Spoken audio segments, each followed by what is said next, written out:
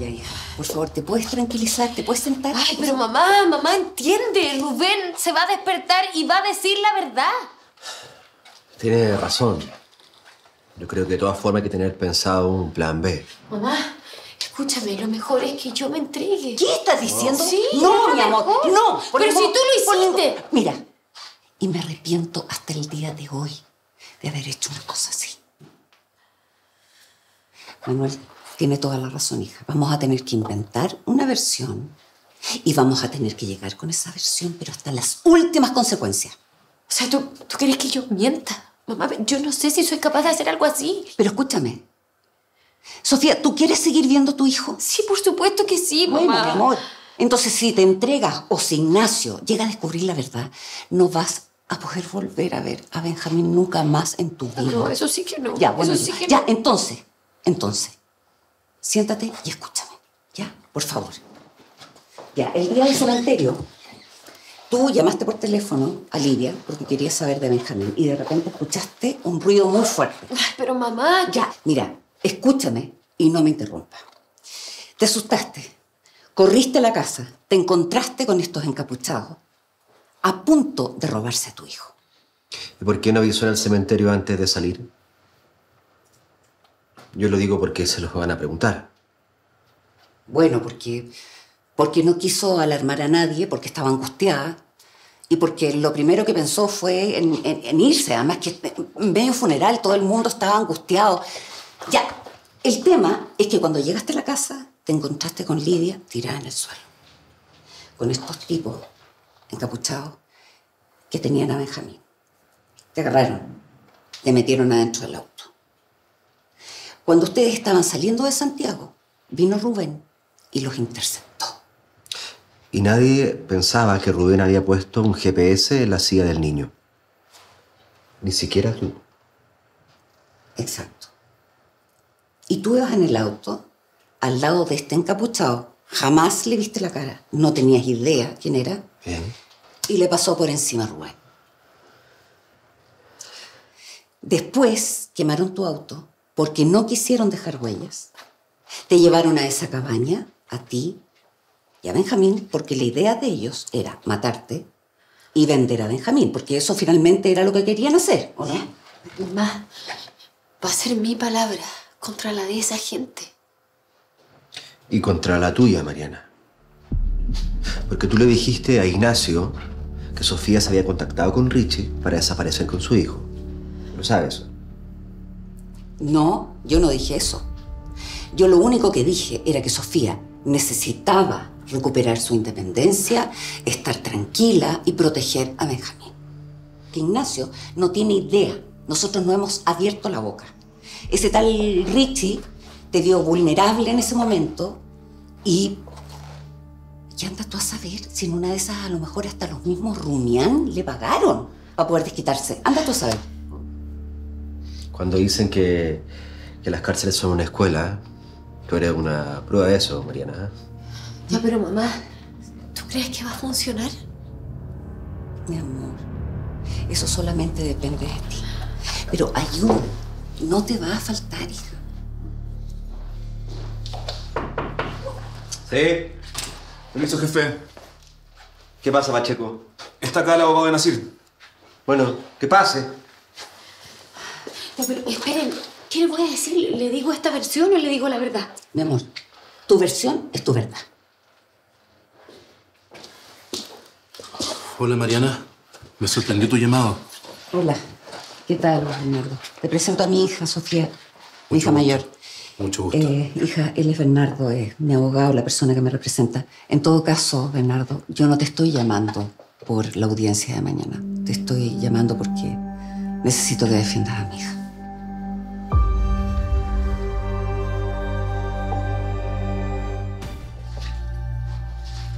Bueno, después estos tipos atropellaron a Rubén. Después quemaron mi auto. Y a mí y a mi hijo nos encerraron en la cabaña. Después a mí me iban a matar y a mi hijo lo iban a vender. Pero tú conocías al secuestrador de antemano. Era el encargado de seguridad de tu abuela, ¿no? Sí, yo lo conocía. Que mi, mi abuela no- nos dijo que podíamos confiar en él. Si es que, no sé, si tenía algún problema o algo, podíamos contar con él. ¿Y tú lo hiciste? ¿Recurriste a él? Sí, ¿Y por qué lo hiciste? porque estaba muy asustada después de que asesinaron a mi abuela. Yo no sabía qué hacer. Decidí llamarlo a él para tener más seguridad para mí y para mi hijo, porque los Rumián querían seguir con su venganza en contra de mi mamá y dijeron que las próximas víctimas iba a ser yo con mi hijo y después mis hermanas y así sucesivamente. Entiendo. Entiendo y está bien que lo hayas hecho. No tenías cómo saber que eran unos delincuentes iguales o peores que los Rumián. Ahora, ese tal Richie eh, está muerto. Pero los que trabajaban con él están tergiversando las cosas. ¿Tergiversando cómo? No, no sabemos en realidad. Escu- escuché a Ignacio decir algo al pasar, pero ¿Ignacio? Sí. El prefecto Abascal, ex pareja de mi hija. Las declaraciones de estos delincuentes no van a pesar nada. ¿Tú crees que no? Él está despechado, Bernardo. Y tú sabes perfectamente bien cómo actúa una persona despechada con poder.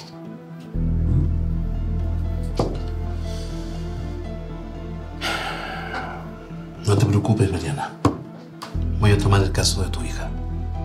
La vamos a sacar de este aprieto.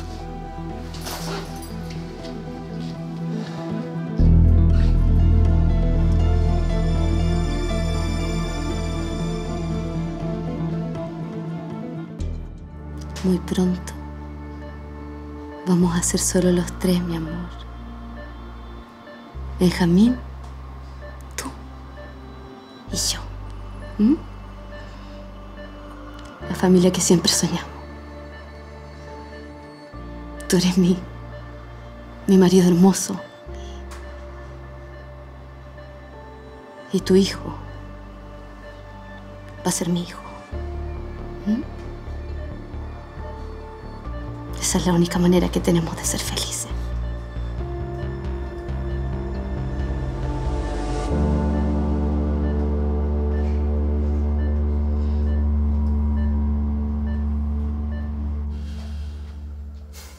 Hay algo que podría jugarte en contra, Sofía. Y es mi deber cubrir todos los frentes. sí, claro. Dime, ¿qué sería? Tu mamá nos dijo que, según Ignacio, tú le pediste arrancar con él y con tu hijo. Sí, eso es verdad. Pero fue en otro contexto. O sea, yo me había enterado recién de que Rubén era el padre de mi hijo y yo no estaba dispuesta a aceptarlo. Pero lo terminaste haciendo. Sí, sí. Bueno, pero ¿por qué le podría jugar en contra? No necesariamente, esto se está investigando recién. Y... Pero lamentablemente las defensas nos vamos aferrando a cualquier luz que aparezca en el camino. Déjame contar con las declaraciones de los detenidos y nos volvemos a juntar. A ver, Bernardo, hay algo que a mí me importa que te quede muy claro. La única relación que tenía Sofía con este tipo era para tener protección. Nunca nos imaginamos que esta banda de criminales eran secuestradores y traficantes de niños, además. Dime, Sofía, ¿hay alguna razón por la que tú te hayas negado a que Rubén asuma su paternidad? Mira, cuando yo supe que me había quedado embarazada, la verdad es que yo no sabía quién era el papá de mi hijo. ¿Y cómo lo supiste? Bueno, después de que nació Benjamín, Rubén hizo una prueba de paternidad a mis espaldas. Y con esa verdad te seguiste negando igual. Te lo pregunto de nuevo, Sofía. ¿Hay alguna razón por que te hayas negado que él asuma su paternidad? ¿Violencia?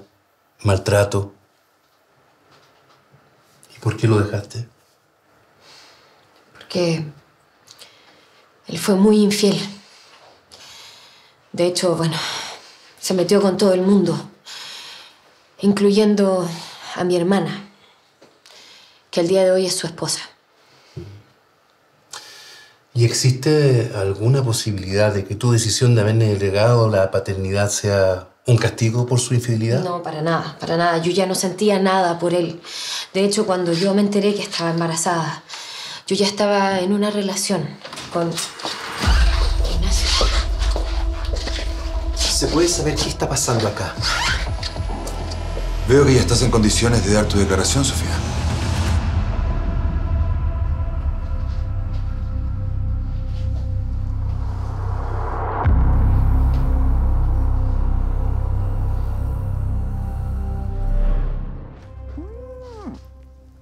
Mi hijo, perdiste el punto. Está completamente ácido. Por favor. Está bien, lo corrijo de inmediato. Gracias. El mío está perfecto.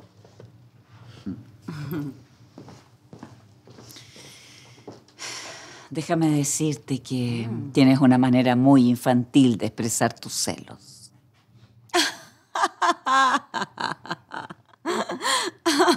¿Ya? ¿Terminaste con tu actuación? Ay, Patricia, que eres divertida. Yo jamás estaría celosa de ti. Ah, ¿no? No entiendo. No. ¿Cómo se te ocurre? Tú y yo somos caminos muy distintos para Julián, pongámoslo así. ¿Ya? ¿Y cuáles serían esos caminos? Bueno, uno es un camino sin retorno que, digámoslo, le falta cierta mantención. un camino que ya va en retirada. Sí. Aunque sí, bueno, puede ser un camino acogedor, una compañía simpática. ya. ¿Y el otro? Bueno, el otro es una autopista nueva, llena de vida. Un amante deslumbrante, apasionante. Ahora sí. Me gusta que se estén conociendo ustedes dos. Ah, sí, aquí estamos, muy entretenidas, hablando de caminos y autopistas. Caminos donde Valentina ve cosas que no existen. No estoy ciega, Patricia. De todas formas, siento que te falta un tercer camino. ¿Cuál sería ese? ¿Victoria? Porque Victoria es un camino que quedó dinamitado y clausurado hace mucho tiempo. Yo misma me encargué de eso. No. No me refiero a ese. Me refiero a su mujer legal, a la madre de sus hijos. ¿Mariana? Sí. Ella. Puede que, y no me extrañaría nada, que Julián retome su antiguo camino con ella y con sus hijas. Ah, no te enteraste. Nadie te contó que Mariana está presa en la cárcel. ¿Cómo? ¿Julián no te contó nada? ¿Contarme qué? Que mañana puede que Mariana quede libre.